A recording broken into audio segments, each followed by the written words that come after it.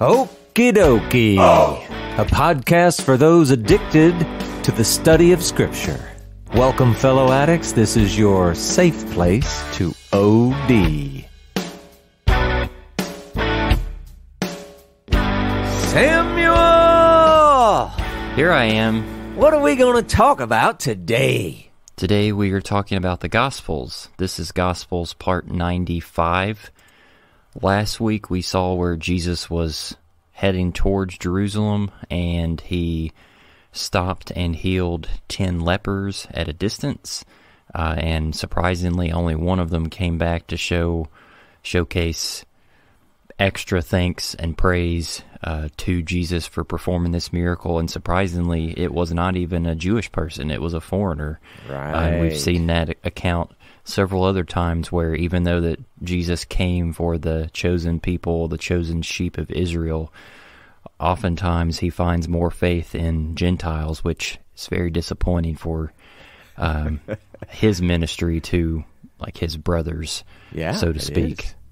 Um, we then moved on to Jesus referencing all the subversions of what Pharisees, crowds, again, he's mentioned this before, their expectations of the kingdom are not what they expected. He had he said last week that the kingdom of God is going to be in the midst of you or within you.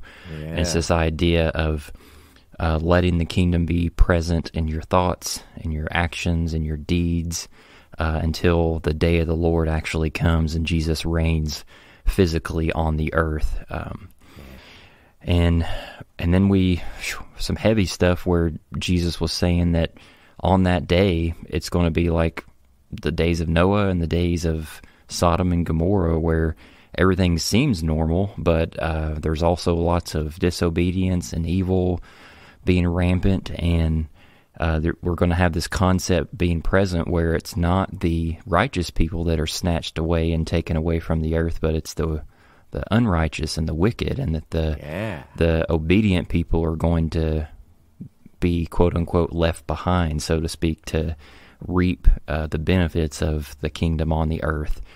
And we try to dispel that misconception within the evangelical church. Um, And finally, um, we ended with Jesus kind kind of pushing to not look back, whether it's possessions or your former life. He alluded to the imagery of Lot's wife looking back at the city, turning to a pillar of salt. It's like you need to die to your old life in order to be, be a part of this thing that I'm starting here on earth and in heaven. Yeah. Yeah, this was kind of crazy stuff and some things that I don't know. I think they're pretty common thinking among Christians in America, at least if we're talking Protestants and most definitely, you know, some portion of the evangelicals, whatever. Very interesting thing. And what's also interesting is as we continue through the text, we're going back to that idea of left behind, at least a little bit. So, uh, you ready to pick up? Oh, yeah. All right, we're still in Luke chapter 17. We're looking at verses 34 through 37. I tell you, in that night there will be two in one bed, and one will be taken, and the other left. There will be two women grinding together. One will be taken, and the other left. Two men will be in a field. One will be taken, and the other left. And they said to him, Where, Lord? He said to them, Where the corpse is, there the vultures will gather. Okay, point number one. If we were reading along, you may or may not have had a verse 36. That's the part about the two men in the field. Some manuscripts have it, some don't. I just put it in here for just so you know that it's there. It certainly doesn't appear to hurt anything in the context. It doesn't seem to introduce any strange ideas or anything. It fits right in. So, could be good, could be, you know, uh, added. We don't know. Whatever. However, there's some cool stuff in here, Sam. Are you ready to look at some Oh, of these yeah. things? Sorry. So, so number one, notice, and you mentioned it in your intro. Jesus has been talking a lot about day. Uh, Something about, you know, like in the days or whatever, or on that day. But if, if you sort of read back, you'll notice days mentioned a number of times. But notice here, he begins with, I tell you, in that night. Where, where'd that come from? So here's the thing. And, and this, I, I, I think people sort of forget about this. The day of the Lord, and when we're talking about, you know, the big one, his returning, all that, it is both day and night. It's day for those who are left, the righteous. It is night for those who are taken, the wicked. And those who are being taken are being taken unto death. So, I mean, obviously, first there's judgment, but their judgment results in death. So that's crazy. And we'll see a little more how we know that. But obviously, where the corpse is, there the vultures gather. You kind of get the idea. So, just like in those earlier verses that you had told us about, we can see that there are those who are destroyed, they are taken, and those who are saved, they're the ones that are left behind, if I can steal that little phrase. And this, it's, it's made clearer in that final question and answer. The disciples, they're hearing this, and, and obviously he keeps saying that there are those who are going to be taken. I mean, when it says they're left, you would never ask the question, where, Lord? Where are they left? You're asking, where are they being taken? And so Jesus' answer, it's an allusion back to Ezekiel. Now, there's too much for us to look at all at once here in the podcast, and it's good for, you know, people to kind of do a little bit, a little bit on their own. We're talking about Ezekiel chapters 38, 39. There's stuff around there. You could even also maybe go look in Jeremiah chapter 7. But it, it's this idea that they're going to be taken to death and to judgment. And, and here's the thing, and you'll definitely see this back in Ezekiel. They are going to be the main course at a great feast for the birds and the beasts.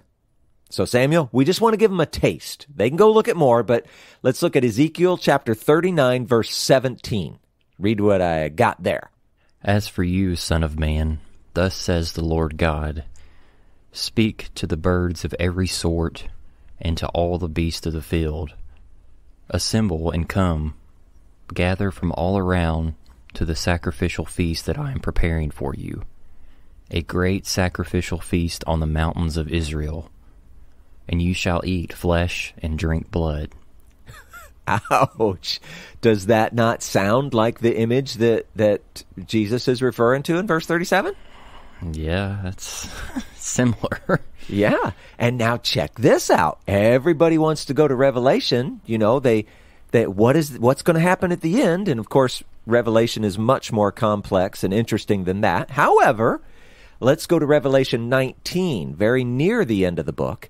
And I'm going to have you read some more, Samuel.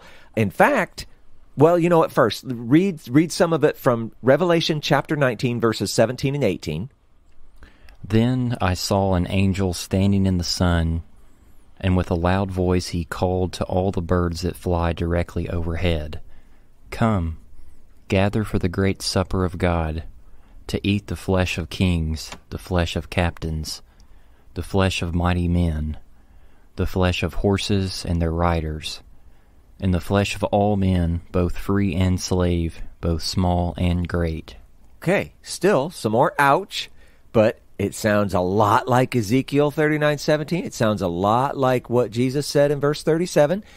And you know what? Just a little bit more. Stay right where you are, Samuel. Revelation chapter 19, read verse 21. And the rest were slain by the sword that came from the mouth of him who was sitting on the horse, and all the birds were gorged with their flesh. Yeah. Where the corpse is, there the vultures will gather. So, again, clear image. Who's being taken? It is the evil, the wicked. And where are they taken? They're taken unto death. And birds feast on them, beasts feast on them. It's kind of gruesome, but hey, It's important that we see it. It's upside down from a lot of the story you may hear in and around Christianity. So, anyway, let's summarize it up a little bit, Samuel. Jesus, he starts out, and this was, you know, going into previous podcasts, he starts out warning the Pharisees that the kingdom, it's just not going to look the way they expect it to look. And you said it. In fact, it was going to be in their midst and we even talked about how that might even mean within them. Good image. And then he warns his disciples that the coming day of the Lord, well, that's not going to look like their expectations either. It wasn't going to be, you know, when they expected or how they expected it to be. And he also told them what their response to all of this should be. Do not seek to preserve your life. That is your life here on this earth in this age. Don't try to preserve this life right now.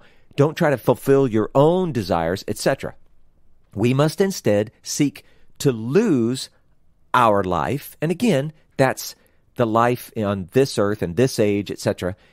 And what does that mean? It means we need to fulfill God's desires above our own. That we've talked about this all through this podcast. It's only by forfeiting this short, corrupted life that we might attain true, pure, eternal life.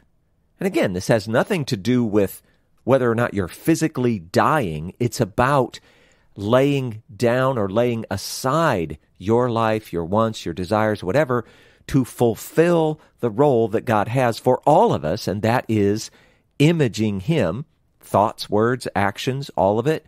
And so, again, you attain the pure eternal life. So it's kind of a cool section, but also a little bit freaky.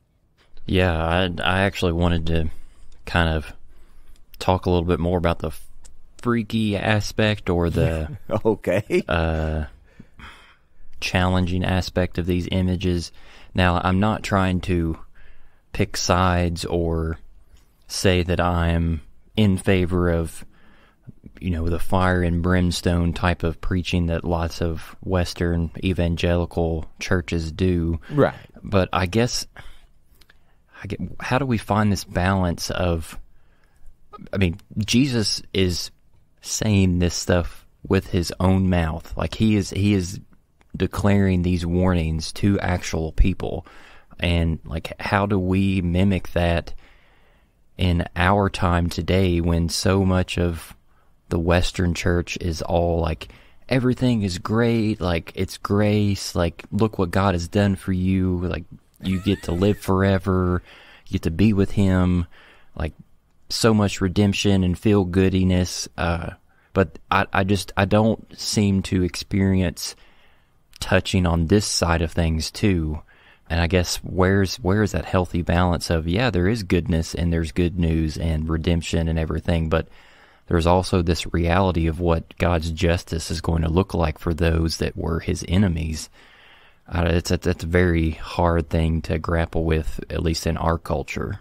Yeah, well, uh, there's actually there's sort of like the the two extremes. You've got the one side where, hey, you know what? Just say you believe and boom, you're in. Life is going to be great. You're going to heaven. Everything is wonderful. Maybe even some of the, what do they call that? Uh, the prosperity gospel mm-hmm. kind of stuff. You know, I mean, there's all kinds of all that. So that's like on one side of the spectrum where, okay, something wrong with that. That's a little too easy. And then you have the other side, and that's more like when you mentioned the fire and brimstone, where boy, you, you better get right because if not, you're spending an eternal conscious torment in hell and, you know, all of these things, which I'm, I'm labeling that as an extreme, the other side of the extreme.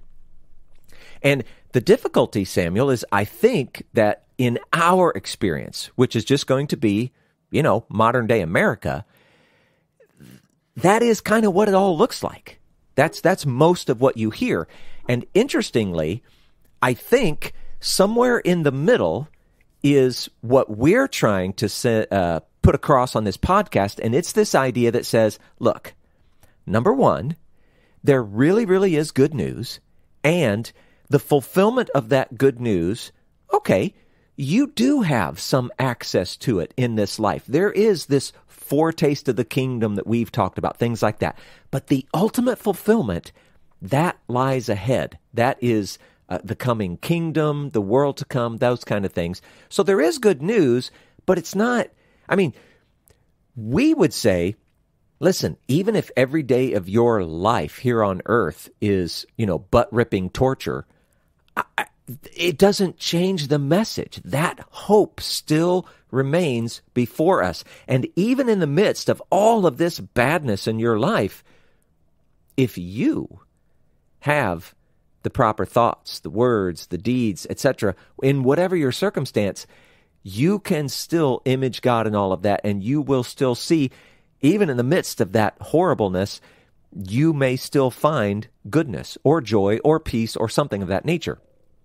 Now, on the other extreme, we we look at this and we say, well, look, uh, we're not really going to on the podcast go along with this idea of eternal conscious torment in hell. We think the whole hell concept has been really mangled and misunderstood. However, we are also trying to get across this idea that hey, you you do need to understand your life is on the line. And I don't mean this life and your physical body dying. I'm talking about life. God has given to every human access eternal life. He, he's given it. But it's not like universalism, like it, that, that one strict form of universalism that just says, boom, everybody's going to go and that's just the end of the story. Hooray, God. It doesn't look like that. Your life is on the line. You are, in fact, facing death, and not just death of your physical body, eternal death. And this is a big deal. And so you have to understand that th- something still rests with you. This responsibility, this decision still rests with you, and you must choose life. And in doing so, you're choosing God and his ways and all that kind of stuff over your own. It's we say it all the time, elevating God's will above your own. And so this this balance is is the the the reality of the actual decision, the actual choice, path, whatever you want to call it that is before us and the actual consequences of that choice. But again, the extremes kind of make it weird. It's not a prosperity gospel and it's not, you know, eternal conscious torment in hell. Uh, so I, I, look at verses like this, and again, remember how we've seen Jesus on occasion. He seems to get a little testy. He seems to get a little, I don't know, grumpy almost. I hate to say it that way because he's, you know, Jesus, but what you, you know what I'm talking about. But he's trying to get across this is real. This is a big deal. If you're not taking this seriously, your end could be what we would call bad. It's just it's bad. But it doesn't have to be that way. You've got that choice. Don't don't blow it. So I don't know. I, I, I, said all that stuff and now I have no idea if I really addressed your question or not, Samuel. Uh, yeah, I think you totally did. Um, I mainly was just bringing it up to point out that Jesus here wasn't sugarcoating things, and I don't. I mean, I'm not saying that it's in my place to be going out into my circles of life and warning everybody like there's an approach to do things, but like a, a sense of desperation or urgency with like what you said with life on the line there might be a lack of that in the Western world, and maybe it's a call to us to try to mimic Jesus and saying that, like, you know, there's there's weight to all these things uh, with our lives. Yeah, and it's difficult to know. I mean, what is a really good way to present that? I mean, obviously, it's not like "Morning, Bob. Sorry, the birds are going to eat your flesh." you know, I mean, that's okay. That's probably not it, but yeah, it's it's a difficulty. And then when you look to Jesus as an example, you do see that on occasion he finds it right and, and good to just lay it out there. You have a choice. And if you don't choose wisely, it is only death that awaits you. You are forfeiting life with God. It, it's a it's it's foolish, but I, I don't know. It, presenting it as a it's a challenge. Yeah. Yeah. Uh, anything else? Now let's see where he goes from here. yeah. People don't know this. We're recording this podcast in the morning. this is a pretty rough way to start the day. but hey, let's keep going. Uh, I, I, think I think we got some good stuff coming. So this is in. Uh, well, you know what? We're continuing in Luke. We've moved to chapter 18, so at least we're making progress. We're going to read a long bit. This is verses 1 through 8. So hang on. Here we go. And he told them a parable to the effect that they ought always to pray and not lose heart. He said, In a certain city there was a judge who neither feared God nor respected man. And there was a widow in that city who kept coming to him and saying, Give me justice against my adversary. For a while he refused.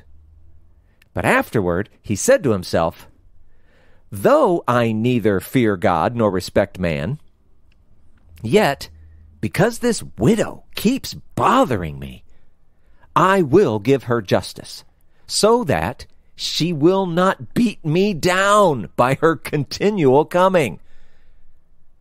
And the Lord said, Hear what the unrighteous judge says. And will not God give justice to his elect who cry to him day and night? Will he delay long over them? I tell you, he will give justice to them speedily.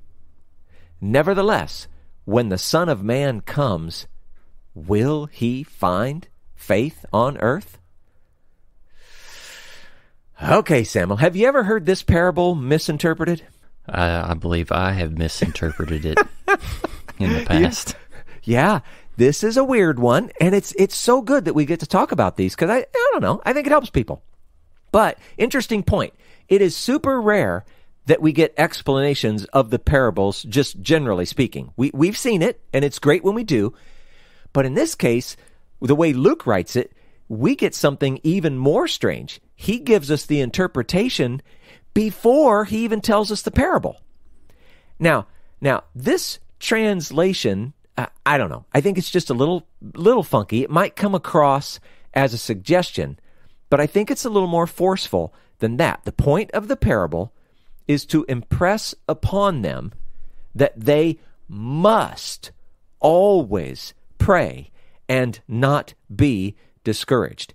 It needs to be your daily life. It needs to be more like who you are. So again, when Luke says it here in the ESV, it's like, you know, to the effect that they ought always to pray and not lose heart.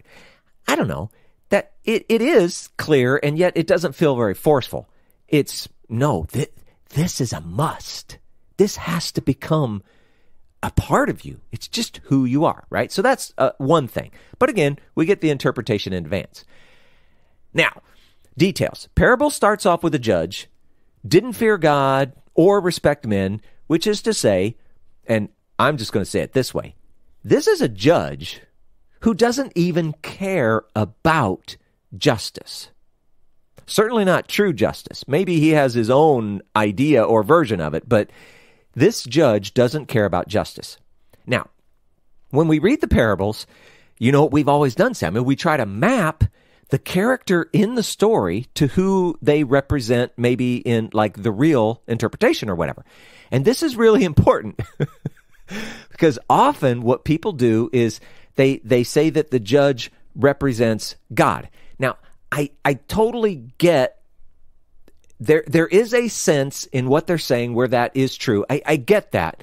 But we have to understand this judge, he doesn't actually represent God. He is not a picture of who or what God is. He's actually the opposite. So that's important. this judge actually represents something more like any unrighteous person who is to be seen in contrast to God. So I, am laying that out there, and I'm also recognizing, you know, Jesus himself is, he's making a bit of an association between the two, but it's not a symbolic representation. It's a big deal. Anyway, you've also got this widow. She's seeking justice. And obviously, I think we can get this one. She represents any person who is seeking justice. That's an easy one. And so we're to see this widow as, you know, someone who's, who's likely powerless in the legal system of her day. There's so little that she can do for herself in the, the courts, the legal system, whatever. But she stands out from the crowd in, in this one very important way. She is persistent, like really persistent, like unbelievably, irritatingly persistent. and if you've ever known a person like that, oh, it'll get you. But mm. that's this lady. And why? Why is she like this? You only act this way when you really, really believe that you will eventually get what you seek. It's, it's another way of saying you have faith. If, if she thought that her actions were never going to have any effect on that judge, she was never going to get any justice, would she really have kept it up? No. She really thought it was going to work some way or another. And it did. So, so this judge, I mean, we get the story. He couldn't care less about this woman's situation. And yet, he makes the decision to help her. And the text tells us why? Because he just wants to get rid of her. So is he really seeking justice, Samuel? No. No. He's acting selfishly. He just wants, you know, the noise to stop. He's feeling worn down by her, beaten down by her. And again, if you've ever known anyone like this, you know exactly how that feels. You so, mentioned adults, but it's that uh, characteristic is also present in young kids. Oh, it is, especially when the parents do not know how to let their yes be yes and their no be no. It's and you are so right. They're so good at it. So so anyway, this judge, which is an adult, by the way, we may as well clarify. He helps her to help himself. And on the whole, I mean, you got to say, it's really not a very uplifting parable if it just stopped right there. However, Jesus, he gets to the big ending or, or he offers his, you know, commentary on it or however you want to look at this. And here's the point. God is nothing like this unrighteous judge. We know uh, God in himself. He is, he is the very definition of righteousness and justice. And here's the point. If even this judge who doesn't care about justice will actually give you the justice you seek when you're persistent, how much more will a God who who actually defines justice you know be be supremely willing, overly willing, exceptionally willing to give you the justice you seek when you're persistent.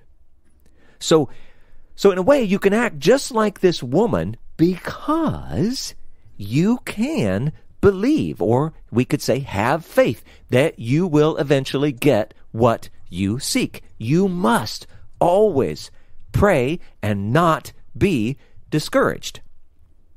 Now, we always have to throw this in here because humans can be very goofy. And so, of course, when you're seeking something, when you're seeking, let's say, justice in some area, some circumstance, okay, you need to be seeking true justice. You need to be seeking a justice that is actually in tune with God's perspective of justice. So I hate it when we have to put caveats on stuff because it sounds like we're, I don't know, hedging or limiting God or something. We're not. We're just saying, uh, humans be human a lot. And so, you know, we have to, we have to understand so much of this is about unity and, and, uh, uh, what's another word? Uh, I don't know, just, just, just being in tune with God, His thinking, His ways, all of it. It it's, it's an important part of the story. Anyway, I would just want to show a similar idea. Samuel, why don't you read from Isaiah 62 verses 6 and 7? On your walls, O Jerusalem, I have set watchmen. All the day and all the night they shall never be silent. You who put the Lord in remembrance, take no rest, and give him no rest until he establishes Jerusalem and makes it a praise in the earth. Yeah. So now this was a message to the Israelites, and it was about them. Listen, you know what God has promised, and you need to be faithful and unrelenting and persistent and all of that until He does what He says He will do. And that's another thing. When when God makes a promise, Samuel, how long does it take for Him to fulfill it? Uh, exactly. We don't know. It could be immediately or it could take millennia. It's we don't understand God's timing, and so our our faithfulness and our persistence it has to remain regardless of how we think or when we think God should answer. But but again, the the encouragement here is to be faithful no matter what. You just you just be persistent. And Jesus adds this final question and this is kind of weird.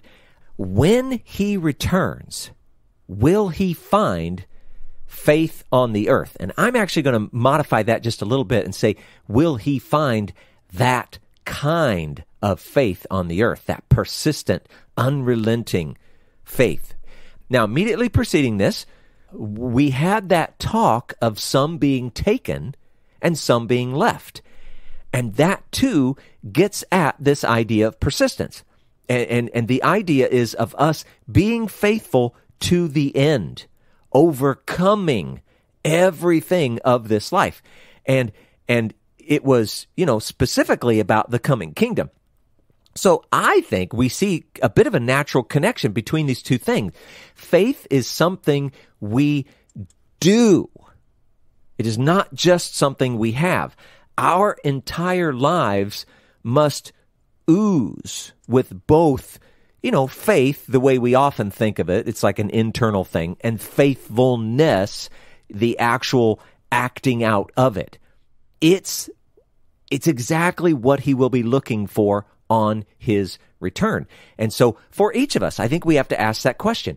Will he find that kind of faith on the earth? And more specifically, will he find it in me? Mm those are those are hard questions, but we need to we need to start asking ourselves that kind of stuff all the time. It's good for us. Yeah. Um it's so cool to see Jesus pull out a reoccurring tool, rabbinic tool that he has been using so many previous times in the gospel accounts that we've covered already. Uh, that how much more oh, statement yeah. that you brought up, uh, that in Hebrew, it's called Kal Vachomer, K A L V A C H O M E R. Yeah. Um, I mean, su- such a good practice for you as listeners and studiers to even j- just Google like how much more Jesus, how much more statements, uh, Bible, yeah. and like I mean, just a couple examples like um, uh, Luke eleven thirteen about the the differences between an evil father and a good father giving gifts. There's how much more in there. Um, Luke chapter 12, verse 24. This is about not being anxious and the comparison between the, the ravens and the uh, the flowers being clothed and taken care of, and how much more being there. So yeah. many more, but just just wanted to point that out. Um, I also wanted to ask. Wait, wait, wait, wait. Oh, oh, oh, oh, oh. Can, can we talk about Kal Vachomer just one yeah, little bit? go for it. Oh, yeah. What is what is the super important thing when you're doing a how much more? It is that the thing that you're talking about in the first place, the thing that you're going to say, you know, how much more about or against or whatever, the important thing is that that initial thing must be undeniably true. Mm-hmm. So in this case, the, the, this judge and the way he behaved and all of that, everyone hearing this is going to just know this is absolutely, completely, and totally true. So no one questions the first part. And then because it's undeniably, universally accepted true, at least in your audience, then when you say how much more so, it that's the real effect. So I'm sorry, I just wanted to add that in there because it, it makes the Kal Vachomer to me much more powerful when you Yeah. recognize, oh yeah. No, All right, I'm sorry, glad, sorry. No, I'm- I'm glad you gave space for that. It's that from the light to the heavy or from the lenient to the strict. Uh, if Yeah. something is true in this exaggerated sense that we can absolutely understand, then of course it's even more true in a um, aspect of life that is more understandable for us to grapple with, empathize with, Yeah. relate to, um, that actually applies to our day to day. Yeah, exactly. Um, Now, I wanted to ask, uh, and this may be an unanswerable question, but this concept of someone continuing to be prayerful, not losing heart for seeing God's justice uh, and His attributes being seen here on earth and His kingdom coming. What what do we do? How do we give hope to those who have been praying those things for themselves, for others, whether it's a family member or a friend that does not have a relationship with God yet, and you know, they they could be praying their entire life, and that person dies, and that that prayer doesn't see fulfillment, or it's with a sickness that doesn't get healed, or right. um, mistreatment of children or in the workplace. You can put any sort of example in there. How do, how do we treat those examples where, like, we know that we're praying the things that God wants and what He wants to see happen on earth, but for some reason or another, we don't get to experience God coming through in the way that Jesus is talking about here with being a righteous judge um, to those who are coming to him. Yeah. Yeah, and you know what what you're talking about Samuel is the dilemma or the conflict or the stress or the whatever it is that people feel about God and their Christian walk and things they read in the scripture, they feel that conflict because we can read it and and it's so easy to walk away with this idea that well if i pray for it and you know i'm faithful to pray and i try to be a good person myself god'll hear and he'll answer. It's easy to walk away with that because and this oh it's so so hard it is true because God says it, kind of a thing. And remember before when I, I, I felt bad because I was throwing in that caveat, of course, you have to be seeking true justice, you know, something that's really in tune with God or whatever. And this is the difficulty. Again, we look at things like okay, did Jesus heal everyone on earth while he was here? No. Okay. And then, even harder question Did Jesus heal everyone in Israel while he was here? Well, still no. So, what do we do with that? I mean, certainly God's will is for everyone to be healed. How do we know that? Because that's what we see in our vision of the kingdom and the world to come. Uh, we know that that's ultimately God's desire.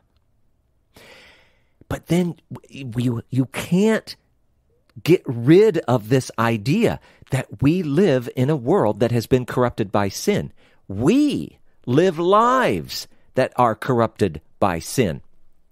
And somehow in all of this, God is fixing it all, and yet we don't see him fix it in these very specific and individual ways that we see. And it's like, you know, in a sense, it's almost you feel like you're helping God. Hey, God, if you want there to be no more sickness, heal my buddy right here.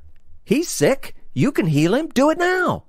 And the, the craziest thing is that you will throughout your life see a number of instances where it's it's unexplainable. You'll even hear doctors say, "You know what? I can't explain it. I don't know how this happened, but somehow your cancer is going away." Or, uh, you know, I've got all these, you know, images from before. You're riddled with cancer, and I'm looking at you now, and you are completely cancer free. I don't even know what to do with that. You will see those things happen all through life, but it doesn't happen every time. And so in all of this. And again, it's so difficult for us to either accept or comprehend or something.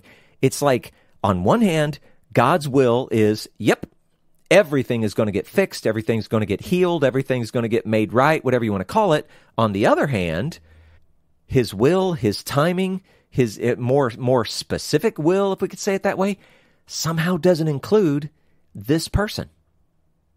Why did, you know, uh, my spouse die or my parent die or my child die or whatever it might be. And those questions are so hard to answer, especially in light of a verse that says, Will not God give justice to his elect who cry to him day and night? Will he delay long over them? I tell you, he will give justice to them speedily. Well, boy, that sure sounds like he ought to just answer my prayer. And and it's a difficulty. And so there's there's somewhat of a mystery that we all have to live with as Christians, and that is the mystery of God's will, God's plan, God's purpose for things. And it's even more crazy when you start thinking that, wait a second, are you saying that there actually could have been real value in this person in my life dying versus them living? And and crazy thoughts like that and they are so difficult to explain Samuel but you're just giving voice to the classic you know why does God let bad things happen to good people? And it's it's and the, the simple answer is because sin. Hmm. you cannot avoid entirely the consequences of sin. And in a strange way there is justice in that. But it's a very difficult part of our walk. Walk. Does that help at all, Samuel? I don't know. Yeah, I just wanted to give voice to that because I mean I know for myself the church that we go to it doesn't it doesn't come up often but from time to time one of the preachers or someone among the leadership will bring up an account uh, of a situation where whether someone's spouse was maybe you could say terminally ill or uh, someone in had some type of workplace situation or conflict and the the specific request that was asked like to to the detail got answered. And I mean praise God that's awesome. It's amazing. But yeah. um, I just I, I hate for people to get that conception that that's what their spiritual lives is go- are going to be like. And it oftentimes can lead to disappointment and people losing hope and walking away from the things of God because that's not promised. And I mean, someone could right. go their whole life uh, and not have anything miraculous like that happen to them, but that does not mean that God is still that God is not present with them, orchestrating the things in their life, uh, wanting good for them. I mean, what comes to mind is Hebrews chapter 11, verse 1. Like, now faith is the confidence in what we hope for and assurance about what we do not see. Yeah. And again, that's not a, a mental assent, um, ethereal kind of thing. I just need to get my mind in the right place. It's no, we're staking our promises on things that have come before us.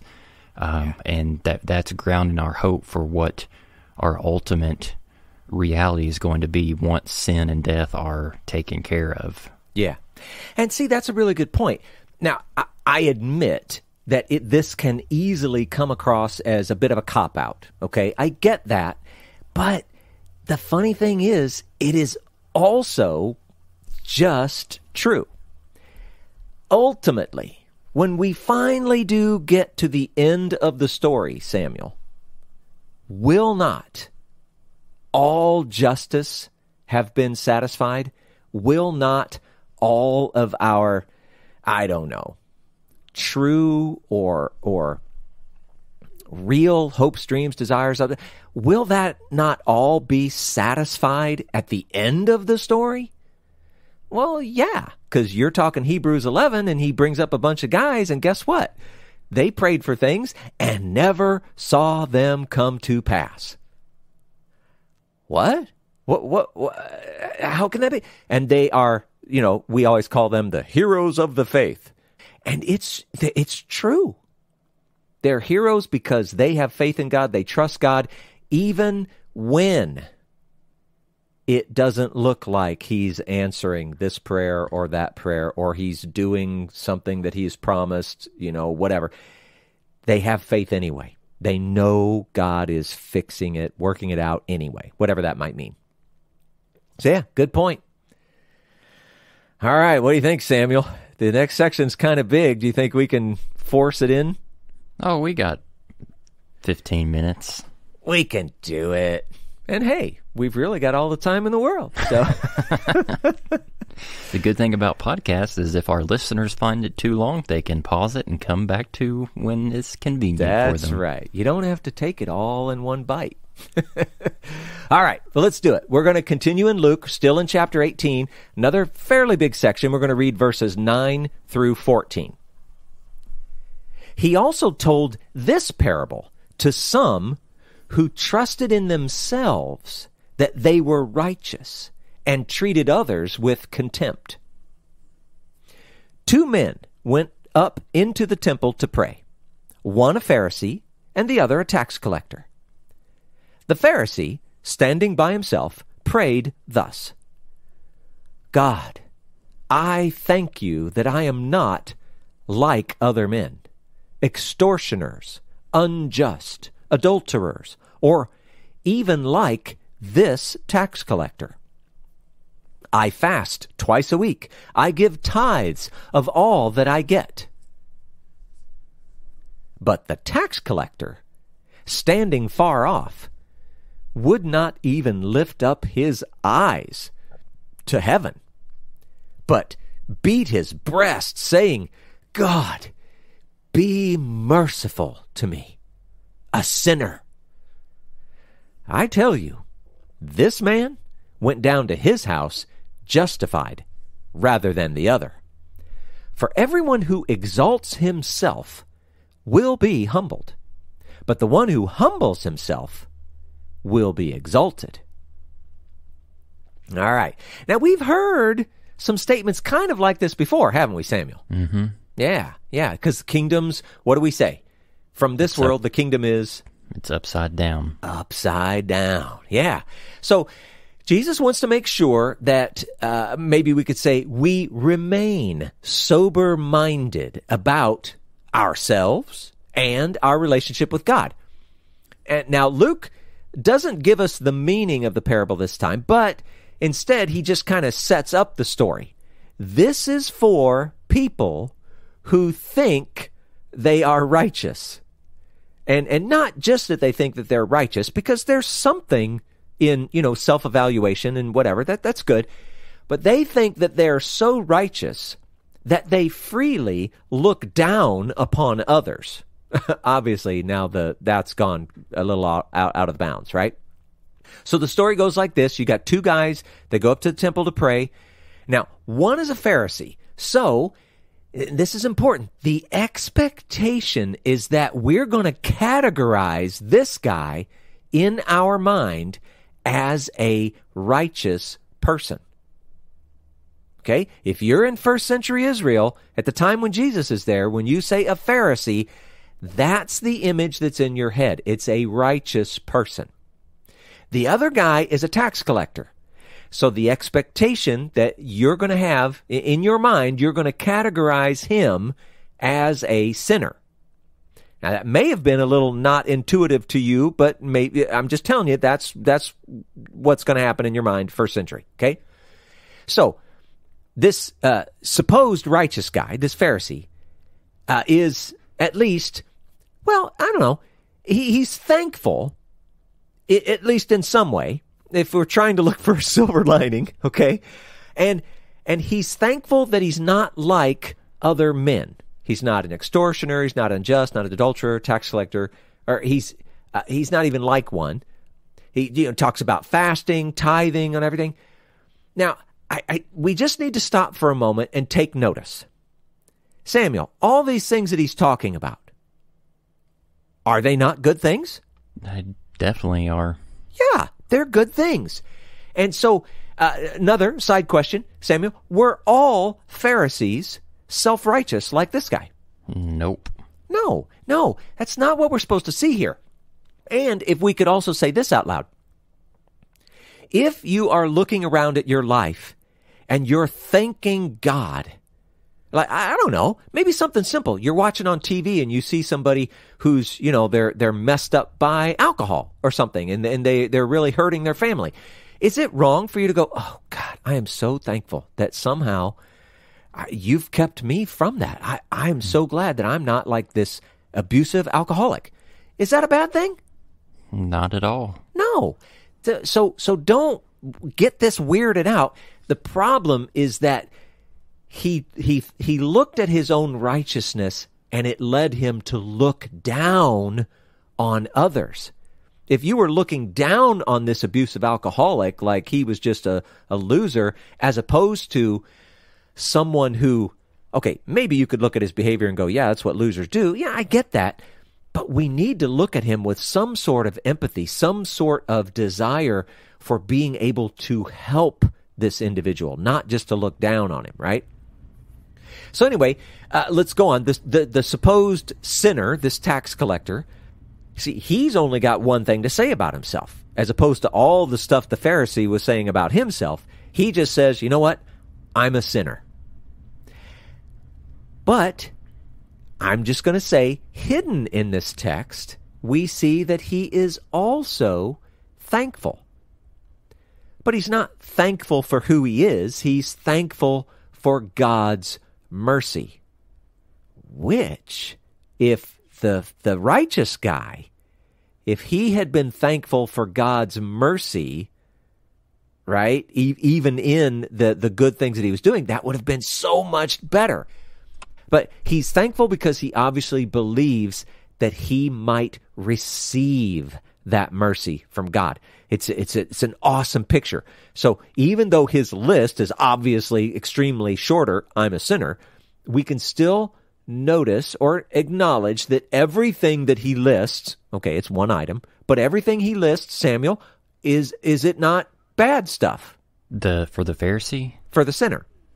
I mean, he only lists one thing. I'm a sinner. We said Oh, that when the yeah. Pharisee, yeah, That that's a negative thing. yeah, yeah, everything the Pharisee said was, you know, it was good stuff. And everything that the, the sinner says, well, okay, it's one item. I'm a sinner, but guess what? It's all bad stuff. Okay. But here's the thing.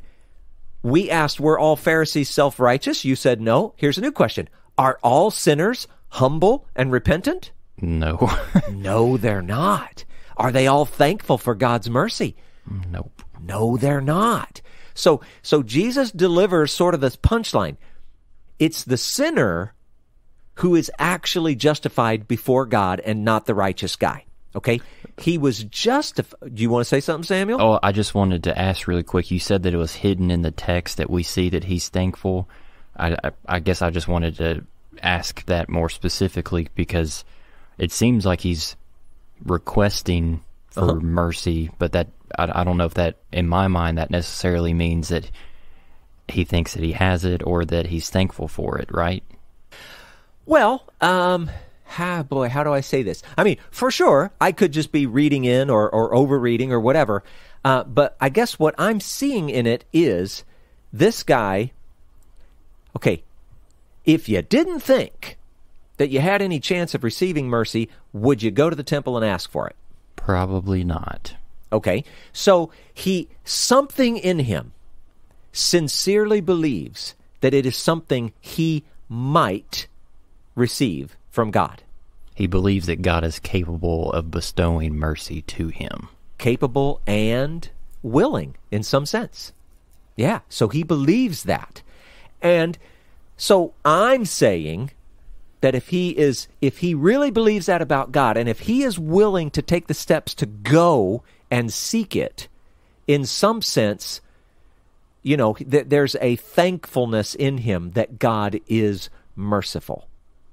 Th- That's all I'm getting at. Okay. So maybe I'm overdoing it, but uh, anyway, that's that's how I, I, see it. I see that makes sense. doing. Yep. Yeah. All right. So, uh, let's see. Where I don't even remember where I was now. Okay, so it was the sinner who's justified before God, not the righteous guy. And then when we say that he's justified, what are we saying? We're saying that he is declared innocent.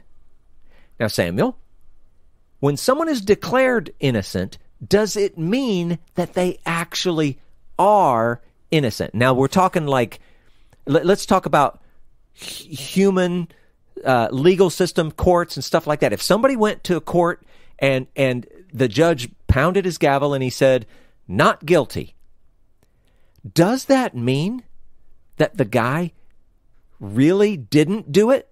No, that's just a verdict. I mean, Right. that person could have done all kinds of bad stuff, but the jury found his case more compelling. Exactly. And that's important. So when you, we say that someone is justified, like in this case, this sinner, he's declared innocent, though even in this case, I mean, he truly has been a tax collector and probably done some pretty horrible things.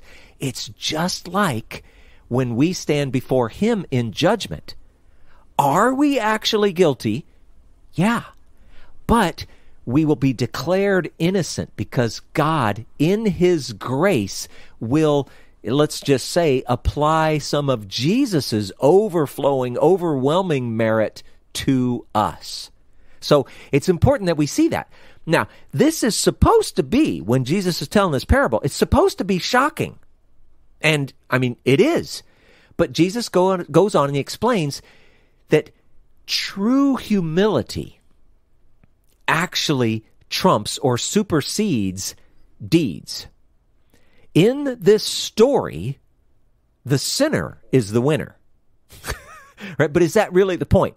But let's just one extra little thing about that. Samuel, is it possible for a person to do good things for the wrong reasons? 100%. Yeah. Yeah. We just talked about the righteous, the unrighteous judge. He, he gave the woman justice, but he did it selfishly. Selfishless. Did I say that right? He was being selfish about it. It- so yeah, people can do that. And, and, and uh, I think that even though we see this, we see, okay, yeah, the sinner is the winner. The, the, the sinner is the, did I mention it was morning? The sinner is the winner. Humility trumps deeds. True, true, true. But is that really the ultimate point? Is Jesus saying that living righteously is some sort of fool's errand? That we can do whatever we want as long as we're really sorry for it? Samuel, would you like to take a stab at that one? Survey says no. That's right.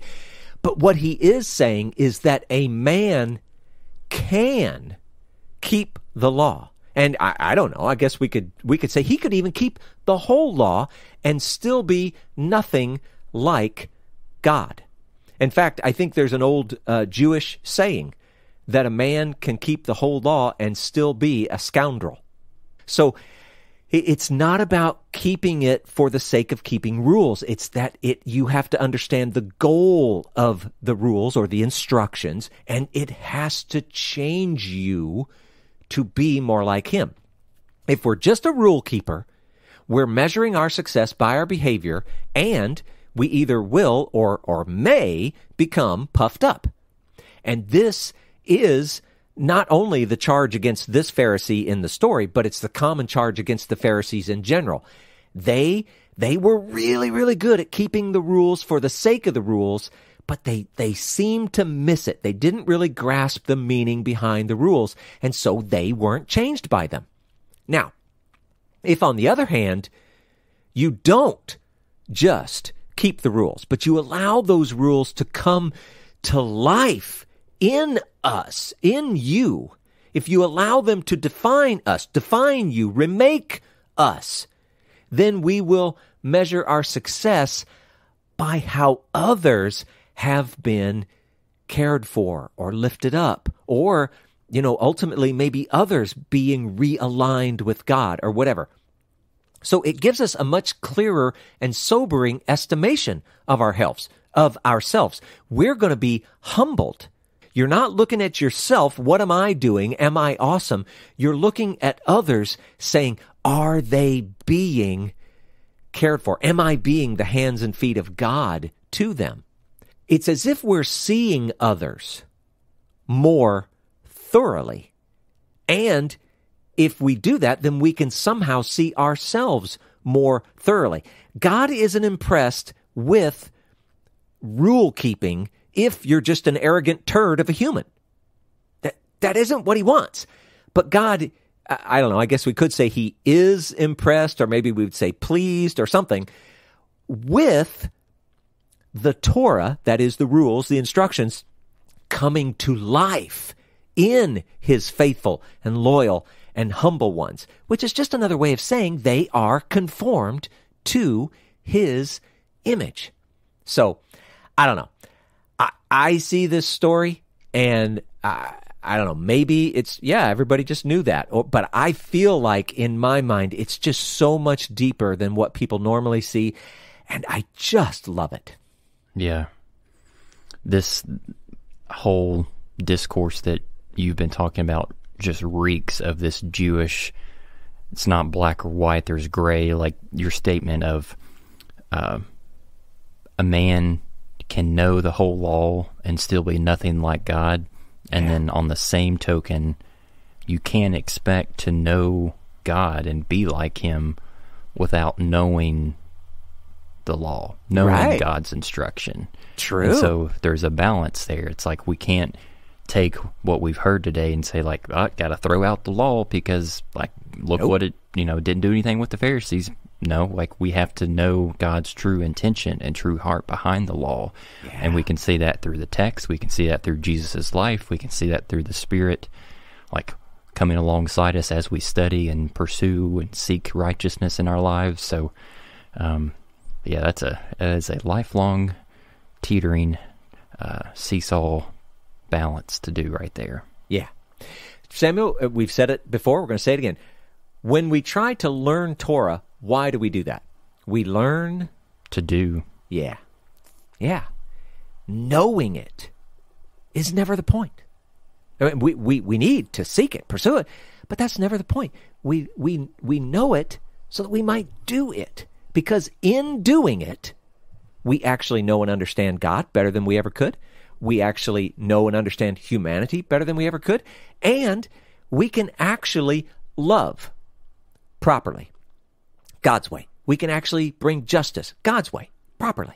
Uh, he defines it the way it's all really supposed to be. And if we don't learn it through Torah, we're just going to have some weird alternate version of it. It's just messed up. Yeah, I'm I'm calling back to my old uh, high school FFA days. My Uncle Bill, FFA advisor, would be proud. Their mission statement is learning to do, doing to learn, earning to live, and living to serve. There oh. might be some oh. h- hidden Torah inside the FFA. Hey, yeah, that's pretty cool. I was never in FFA, Samuel. Aw. Yeah, you can all feel bad for me now. but nonetheless, I, I got to tell you, I, I was starting to feel like we started this morning with some pretty rough stuff, and right now I feel like I'm on cloud nine. This this was the greatest way to end, and I'm just you know what? We're done and let's go with it. Okie dokie. Thanks for listening to the podcast. Please don't forget to leave us a rating and a review. And check out our website, www.okidokimos.com. Please feel free to get a hold of us at our email address, okidokimos at gmail.com. And until next time, we pray that you will do your best to present yourself to God as one approved, a worker who has no need to be ashamed, rightly handling the word of truth. We'll talk to you again soon.